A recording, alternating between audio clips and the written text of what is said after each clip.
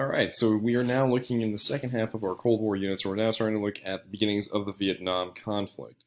So this is going to kind of take up the rest of our Cold War section. Um, so yeah, the, the, beginnings of the Vietnam conflict. So we're explaining why and how the United States became more involved over time in Vietnam and describing the tactics used by both the Vietnamese, the Viet Cong, and the United States to win the Vietnam conflict. So those are kind of our big takeaways we want to get through for today.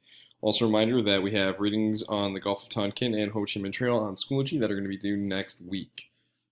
All right, make sure you've also taken that uh, first Cold War vocab quiz um, through military industrial complex and the space technology stuff. So just some kind of background photos here on the country of Vietnam as a whole. Very much now today nowadays a mixture of you know very agricultural based and also very modern esque right? Very beautiful landscapes here out along uh, the ocean and then kind of here up in the mountains and hills and valleys, you know, very gorgeous country. So, location of Vietnam. So we're still sort of in this area of the Cold War or kind of within Asia where we're still seeing a lot of tension, all right? So we've seen that with China, uh, Korea's up here. So Vietnam is on the southern border of China while North Korea is kind of on the northeastern border, all right? And so we kind of get the country here as a whole, bordering Laos, Cambodia, China up here, but also the strategics of, you know, the country itself is, you know, mixture of rivers, uh, low-lying valleys, and these green spots next to the ocean, especially down here, sustainable to flooding, hence why we have a lot of, you know, rice paddies and stuff like that for uh, agriculture, but also a lot of highlands, valleys, and mountains that kind of uh, go up and down throughout the entirety of the country on its east, or sorry, on its western half, alongside of its borders with Cambodia and Laos. Those are going to be very important later. All right, so just some kind of history here. Um, so as we know, Japan, this is the areas that they had conquered throughout World War II. So at one point, Vietnam was under French control. Before that and after that, um, it was a colony of France from about the 1850s and 60s, and then France came back in into uh, Vietnam following the Second World War. All right. So in the sense when we talk about dividing Vietnam, like why is there a conflict to begin with? All right. So for those that had me during uh, trimester two, and we talked about the League of Nations after World War One, where you know talk about the issue of self-determination and that only the Europeans get it. One of the guys who ends up going to the conference is going to be the leader of what we call Communist North Vietnam. That is Ho Chi Minh, right? He goes and you know he's arguing he believes very much in what President Wilson has to say about you know self-determination. Every country, every people should have the ability to govern themselves. Minh believes that, and he wants that for his people in Vietnam, but of course, the United States and much of the European powers are kind of ignoring anybody outside of Europe. Self-determination for Europe was the goal inside of the treaties following World War One. All right, so Ho Chi Minh plays a large factor in actually fighting the French and also the Japanese during World War II and after the conflict, the fighting with France continues, and this is actually the Vietnam conflict begins kind of or reignites during 1945 as Japan is giving up on the war and France re-enters. So the Vietnamese are now fighting against essentially France trying to reclaim its colonies. And France has these issues all over the place. It's not just Vietnam, um, but it's a losing battle. All right. So the United States kind of again under this theory of what we said with containment, the Truman Doctrine, you know, we have to fight communism where it is so that it doesn't expand. There's the domino theory that comes up that the U.S. believes that if Vietnam falls to communism, so will the rest of Southeast Asia. All right, we've stopped it in China, we've stopped it in North Korea with the Korean War. Um, it hasn't really expanded too much. Kind of like the only big loss here is Cuba, and that comes kind of during this division of Vietnam. So, because Southeast Asia provides a lot of iron, rubber, uh, oil, um, and manufacturing to the rest of the world, we cannot let that fall to the communist forces because that means that we're going to be at a disadvantage and they're going to gain something here. So essentially, it's like playing a game of dominoes. Right? You set them all up, you knock one over, and then everything else is going to fall. So there's kind of your analogy here. So the United States initially supports the French, who are in a losing battle, right? And then South Vietnam, which is going to end up taking on the United States' backing here. So, kind of ending the first conflicts here with the French ends at Dien Bien Phu, which is in northern Vietnam, uh, where the French are essentially ambushed and massacred by Vietnamese guerrilla forces.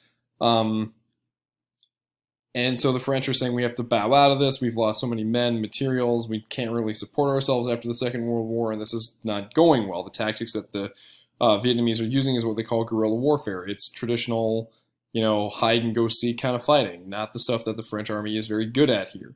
Um, so France decides that they're going to back out. The U.S. still is going to supply the anti-communist forces in the country because Ho Chi Minh is allying himself with communist sides, so he's getting aid from China and Russia. Um, but the country itself can the United States doesn't want the country to be um, become communist. So uh, what they decide with the with the United Nations is that they divide the country between the northern half in North Vietnam and the southern half, which is supposed to be anti-communist. Right, and that is determined with the Geneva Accords following Dien Bien Phu that there's going to be elections in 1956 to reunite Vietnam as one country. Whichever side wins the majority of the votes, all right, will dictate the change in the country. If that's going to be the North, then it's going to be communist. If it's the South, then it's not going to be a communist, more of a along the line of a democratic. But the U.S. cancels this, and this is during the Eisenhower administration, in fear of communist victory.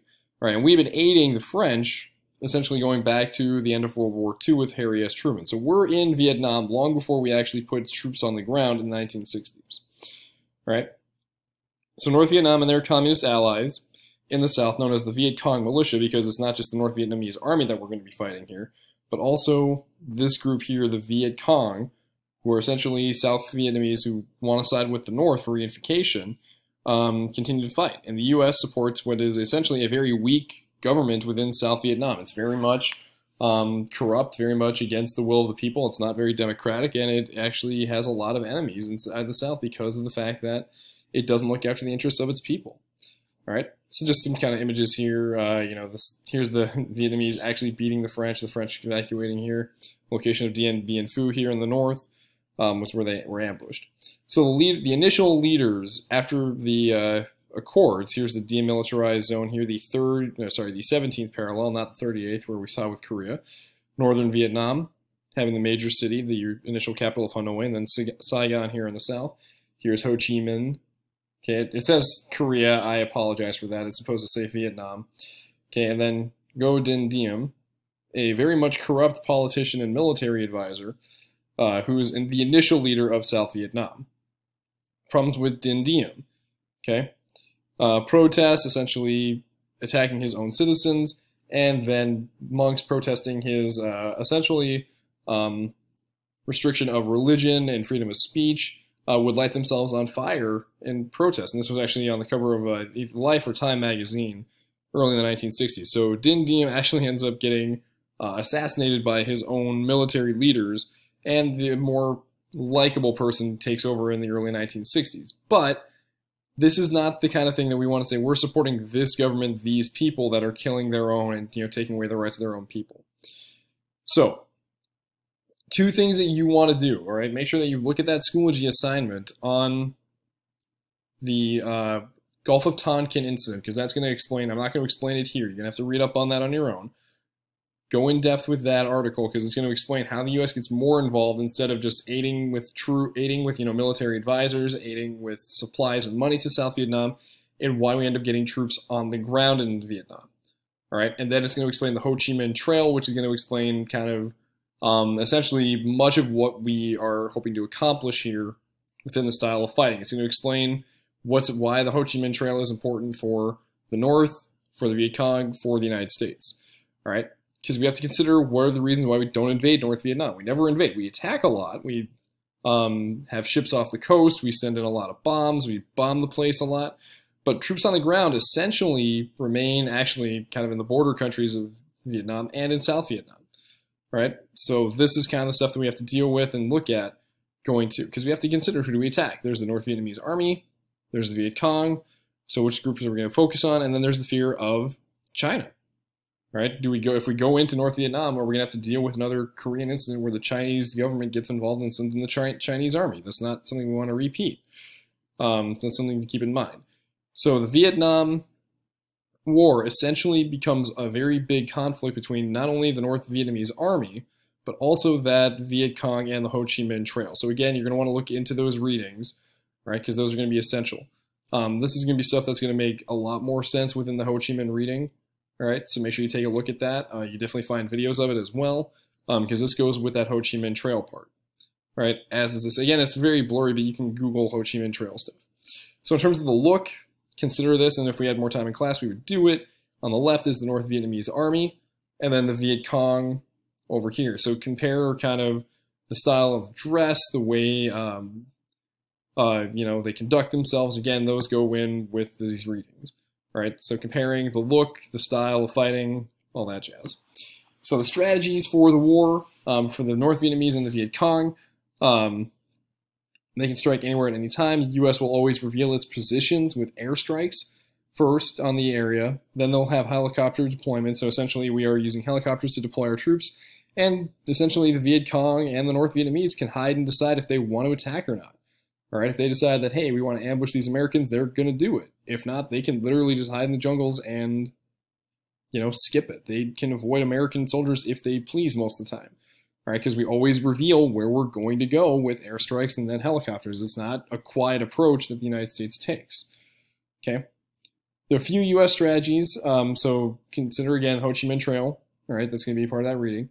Um, bombing North Vietnam, sorry, North Vietnam, and then the use of what we call Agent Orange. So you're going to look in the textbook for that. And essentially, the U.S. strategy is not necessarily going after conquering land. It's not about invading North Vietnam. It is what we call search and destroy. All right, U.S. wants a body count, so we land in one spot, search and attack, and then leave. So the goal is to try and kill as many people in, as possible. And you have to think about why that does not work, right? You have to remember that when we put troops on the ground in 1964, some Vietnamese soldiers have been fighting against the Japanese for 20 plus years for their independence and for the unification. So you got to understand search and destroy is not necessarily the most moral victory there, right? So what this kind of does here, Agent Orange put this in context within the Ho Chi Minh Trail and the Viet Cong. Um, Gulf of Tonkin, again, you want to read up on that because here's where we see um, U.S. troop deployment. So here's Vietnam. This comes after, okay, the Gulf of Tonkin in 1964. So again, you want to look that up because this is ex explains why the United States gets involved and why it's controversial. All right, where the battles, consider that with along the Ho Chi Minh Trail. Um, and then a really great video here. So this guy, um, I remember his name, but he has this whole video series of like film, of like essentially he watches historical films and occasionally TV shows and sums up, you know, what's accurate, what's great about it, what's not so great.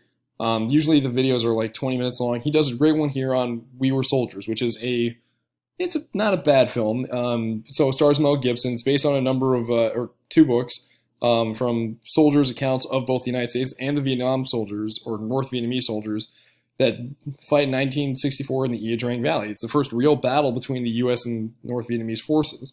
Um, and so the video itself is pretty cool to watch. But if you just watch around from the 18 minute mark to the two and a half minute mark, you kind of go away from, you know, how good is the movie? What is the movie really about? Um, how accurate is it? Da da da da da. Um, but it sums up the war pretty darn well in terms of kind of what the United States and the North Vietnamese are fighting for and why this is very controversial. Because again, we don't actually declare war. All right, the Gulf of Tonkin resolution gives us kind of the whole premise for using our soldiers the way that we do. All right, so that is something to look at. Um, do those readings; they'll definitely fill in the gaps here um, for why we end up getting into the Vietnam conflict and how that looks for us. Um, so essentially looking at these strategies, filling in the gaps for this information. So definitely take a look at that. Um, and we'll kind of check out how the war actually goes here. Now that we know the strategies, now that we know kind of more of the background information uh, going forward. So there you go.